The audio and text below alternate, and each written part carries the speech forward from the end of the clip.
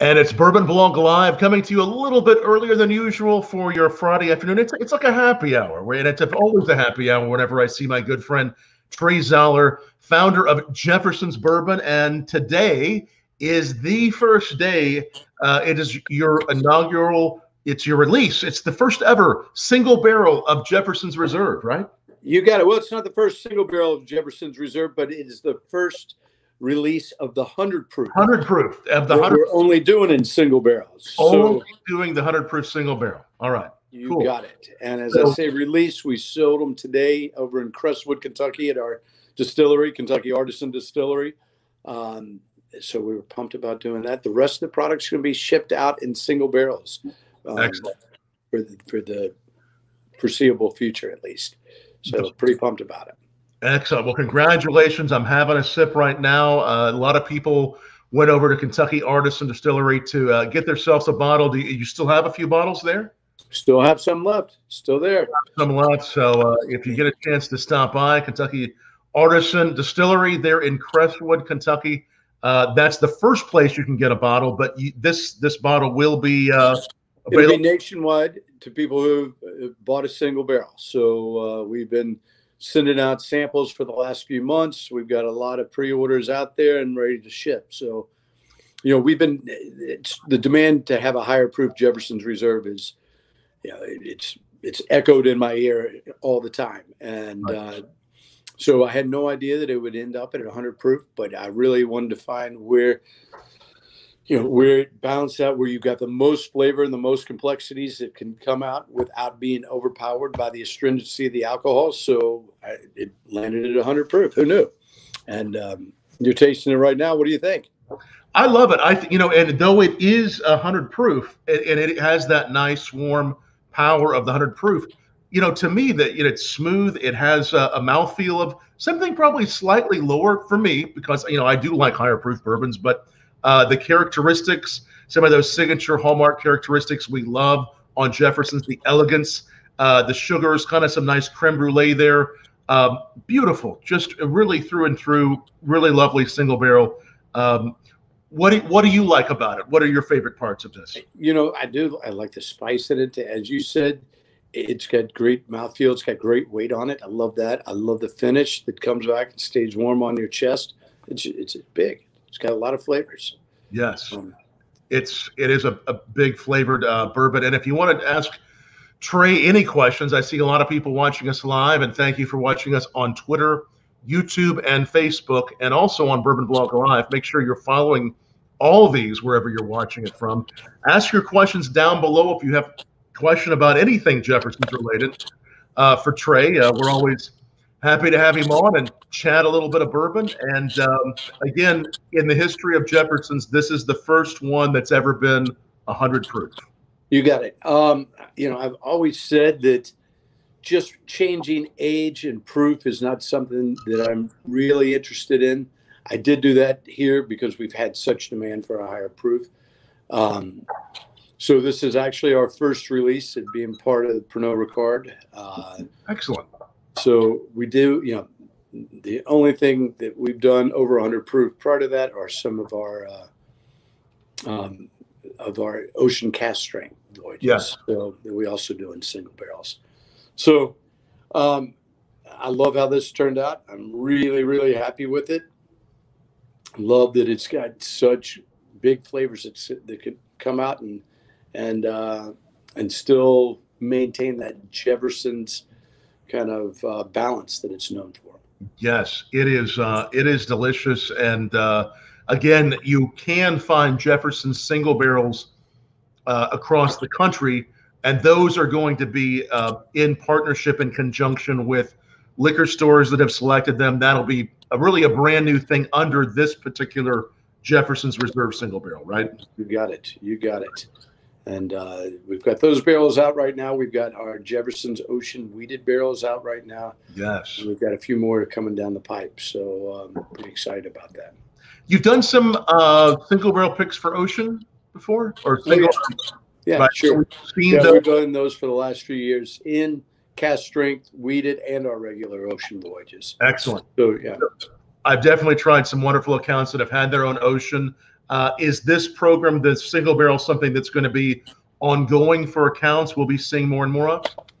Correct. We uh, we kind of readjusted everything once uh, we became part of the Pernod Ricard portfolio and uh, took a, a, small breather from barrels, but we are back in, um, and, and, we're back in with a lot of enthusiasm. So we're going to have quite a few uh, different barrels out, and um, we'll have those out at, at, at, you know all times. So that's going to be great. I'm really pumped about that.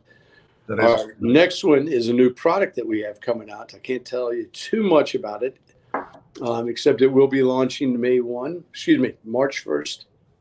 Um, it is a rye. We're doing some different wow. things to it. Um, it turned out it's absolutely delicious, and we'll be selling that in single barrels as well. So this is a uh, all we know so far is it is a rye, and it is going to be coming out in uh, well March first from from Jefferson's, and you got uh, it. This will be your first rye in uh, in a little while, or how long? I think eight years, Tom. You yeah. know, I think it's been eight years since we last had our ten year old rye, and uh, um, I wanted to come out with something that we could re- be really proud of. We tried a number of things that uh, that didn't quite meet the uh, the high water mark that we were looking for because that the ten year old rye was so great. Yeah. And uh, this is this is one that I think we we really knocked out of the park. I'm really pleased with. So can't wait to get that out. Obviously, a lot to look forward to this year, and uh, you released. Uh, I know we've had you on several times the last uh, 10, 11 months since we've been doing the Bourbon Blog Live. You've released uh, a couple couple voyages this past year too, right? From Ocean. You bet. Yeah. Well, we did again those three voyages: the wheated yeah. voyage, the, the three cask strength, and then our regular ocean voyage. So yeah, and ocean is um, it, it's it's like a snowball going downhill. It's just getting more and more momentum. We just bought seven new containers. Wow. To to fill up and put on the ocean. So we're preparing. Uh, it, hopefully, the growth will uh, not only maintain where it is today, but continue to to pick up momentum. So we've we've always enjoyed the ocean ever since the very beginning, and we've uh, we've hosted a number of virtual tastings, and I've always recommended people uh, get that one as one to try. People are loving it. Uh, so much good feedback on the ocean. When you say you you purchase new containers, uh, as far as the growing that, explain what that means a little bit. Okay, so what we do is we age our bourbon for six to eight years you know, in the original barrel. Then we put it in cradles, and those cradles go into containers that we ship down to Savannah and put them on a container ship. So we're contracted to be on the very top of the bow of the ship, so it gets as much pitch as possible. We cut big sunroofs in them, so to speak. So they are, you know, exposed to all the elements. The sun's beating down on it, rain, snow, you name it. So that salt air permeates the barrels and gives it a great salty taste to it. And then, you know, that pitch makes that bourbon rock within the barrel so much. The very top where the most movement is happening, seeing the most number of elements, the sun, the sea, everything. And uh, as you purchase more containers, that means you're growing the number you're putting out there, the number of barrels uh, just continues to grow. Uh, what what else do those cargo? I think people have asked me what else do those cargo ships deliver whenever they're uh, out on the ocean? Any idea? I had no idea, but I can imagine that it's everything from tires to nails to iPhones to keyboards. You know, everything, everything that's that's shipped. You know, it, it we've got a very unique route. Yep when we did this, we you know, wanted to circumnavigate the globe, and they're like, "Okay, no problem. We can do that in 60 days." Like, all right we want to we want to take the slow boat to China. so we stop at 30 ports. It kind of zigzags globe. Goes down all the way around Australia. So it's down in the Tasmanian Sea. It goes back up to the North Sea and then crosses the equator four times. So you get such great amazing um, climate change that it really affects the bourbon. So wow. And it's there for it's there on the ocean for how long? Well, it takes about eight months from the time it leaves our door till it comes back. It comes back. So, mm-hmm. so That's a an, an awfully good journey. Uh, again, any questions for Trey? Ask them uh, down below. We're talking about a lot of different bourbons, but especially this new Jefferson's Reserve single barrel. Now, as we um, as we may see, you know, a variety of different, uh, whether it's spirit stores, liquor stores, maybe even restaurants that have a barrel of this. How would you describe the the way that the um, the, the variants of the flavors are? I mean, there's always going to be that signature flavor, but what excites you about the different single barrels that you've been tasting? That well, I've had some that just they're like caramel bombs. I mean, yeah. it just it brings that flavor out so much. Others that have been very spicy. So yeah. it's kind of an elegance and a, a spice, and yeah, I like either depending on the occasion. Right. So, but there, you know, anytime you have a single barrel like this, you really do get such variety in some of the barrels. It has the general tone, but you can really pick out those that you like more. Um, and at the 100 proof, that even is, you know, it, it's more evident. Yeah, that, that that extra proof really allows people to to dive in more to your flavors and to really see the you said the caramel bomb and and other spices. And this one has some great caramels. It's just uh, it's really beautiful. Um, again, some bottles still left there at Kentucky Artisan Distillers.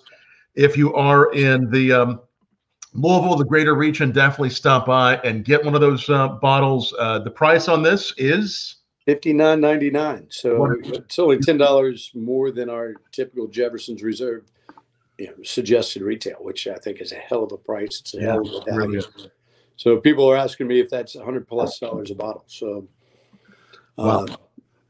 You're getting a great value, and I think it, will come through. It really is. It's it is delicious. A great value. It's and after you go through this round, will you have other single barrels available at the distillery? You bet. You bet. So what we really do, what we're selling at the distillery, is after we bottle up all the barrels, if we don't make a complete case, so if you know we do 36 cases and four bottles, those four bottles we'll put off to the side and sell those through the, the distillery store. Wow. So you'll be seeing new new releases uh, uh, from time to time consistently of the single barrel program. Another good reason to uh, stop into Kentucky Artisan Distillery to actually experience that that new single barrel that's uh, that's out there on the shelf. You got it, absolutely. So, uh, you know, the great thing is you're gonna you know you might have four different uh, single barrels to choose from at the shelf. Four different types that what you would actually have at, at one time. Correct. Yeah. That's uh. Yeah. Could be more than that even. Nice. So we have this new release, and we have another one coming in March, which we'll definitely be uh, letting you know more about on uh, bourbonblog.com. Keep on coming back here for this.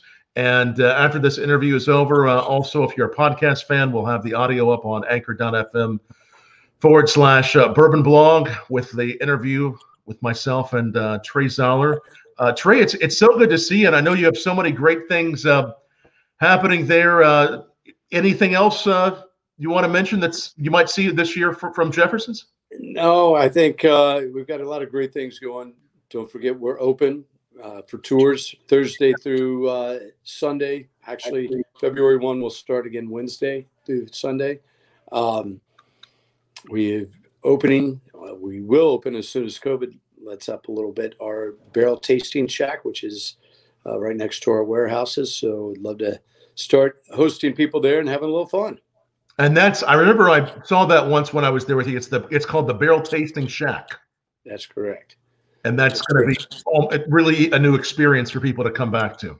You bet. I'm also calling that Little Danny's Playroom. Uh, Dan Burke, who is our chief barrel officer, who's in charge of the single barrel program, that's where he uh, does all his magic. So, Little Danny's uh, Playhouse is the it's the Playhouse. Little Danny's Playhouse or the Little Shack. Uh, Trey, look forward to hopefully seeing you again and uh, in person, having a bourbon coming by uh, Crestwood, Kentucky, there at Kentucky Artisan Distillery. Again, it is the new Jefferson's Reserve single barrel. This is the release day of it. You can get yourself a bottle if you're close to Crestwood, Louisville, around that area of Kentucky. Go get a bottle. It's delicious. It's just, there's so much going on in this from those tobacco notes, spicy notes, the caramels, uh, and just that wonderful 100 proof. I mean, this is so, so good by itself. I would imagine this would also be just dynamite in a cocktail too. I mean, it would just, it's so good. We had them in old fashions the other day, and it really what you're helped. doing? Beautiful. Yeah, it's really good. Good stuff. So I appreciate you having me on. I've got to get uh, ready for my twins' birthday party tonight. happy, So- happy birthday to your twins. That's, that's very exciting. Yes, it is. Yes, it is. Let the games begin. Let the games. Cheers. Cheers, Trey. Thanks so much for everybody Cheers. watching. Thanks, Trey. You got it, Tom. Thanks so much. Take care.